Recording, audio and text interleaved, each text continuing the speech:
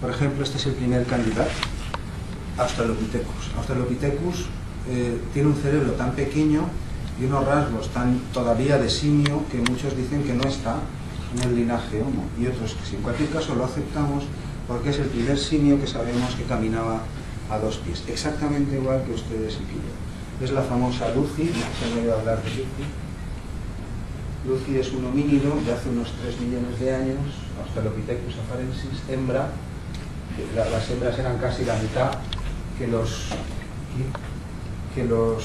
Bueno, había varias especies de afarensis. Eh, Gary, eh, eh, bonsei, hay cinco o seis descritas sobre especies de la misma.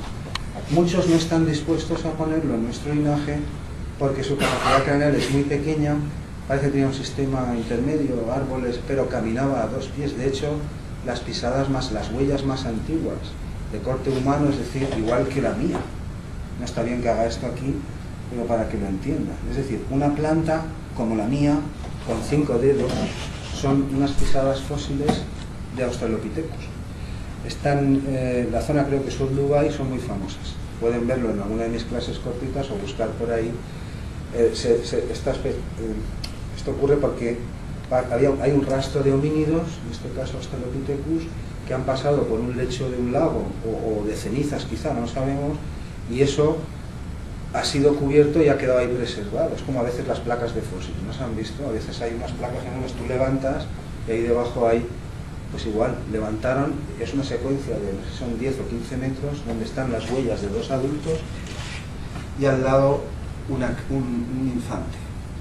Es decir, no sabemos si caminaban de la mano, pero van los dos adultos y su cría caminando. Estas son las pisadas más antiguas son de Australopithecus y Lucy, pues no saben la historia, le pusieron Lucy porque cuando la descubrieron estaba sonando en la radio la canción de los Beatles por eso le pusimos Lucy.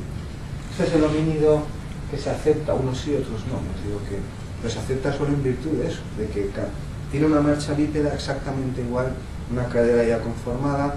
Sus, sus piernas no son las de un simio arbóreo, son las de un simio andante.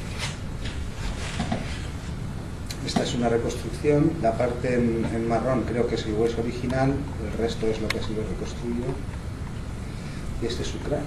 Y de Australopithecus no voy a decir más, eh, pero es la primer, el primer homínido que se acepta en la línea que llevamos nosotros. Esto es una reconstrucción artística.